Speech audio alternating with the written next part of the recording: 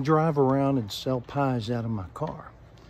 Pecan for $10 and key lime for 8 These are the pie rates of the car I be in.